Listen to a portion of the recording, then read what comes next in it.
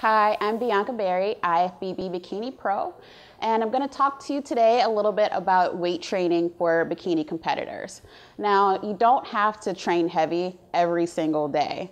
You don't gain muscle only from training heavy. You can gain muscle from all different types of lifts. So throw that out thinking that you have to train heavy for bikini.